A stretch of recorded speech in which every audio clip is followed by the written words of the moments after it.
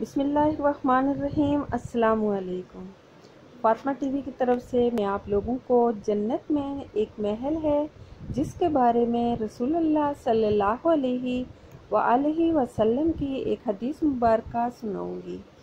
Video की तरफ़ जाने से पहले आप लोगों से मेरी रिक्वेस्ट है, अगर आपने अभी तक मेरा चैनल सब्सक्राइब नहीं किया तो काइंडली मेरा चैनल सब्सक्राइब करें और साथ मौजूद बेल आइकन का बटन लाजमी प्रेस किया करें।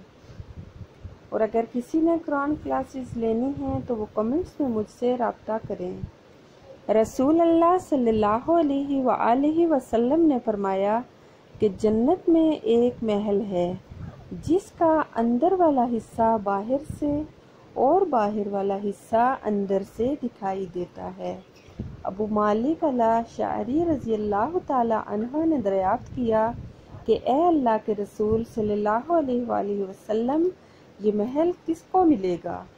रसूल अल्लाह सल्लल्लाहु अलैहि वसल्लम ने फरमाया कि जिसने लोगों के साथ अच्छी बोलचाल रखी और खाना खिलाया और रात नमाज़ में गुजारी, ये उसको मिलेगा। तो वीडियो पसंद आए तो अपने दोस्तों के साथ ज़रूर शेयर किया करें और कमेंट्स में मुझे अपनी राय से ज़रूर आगाह करना।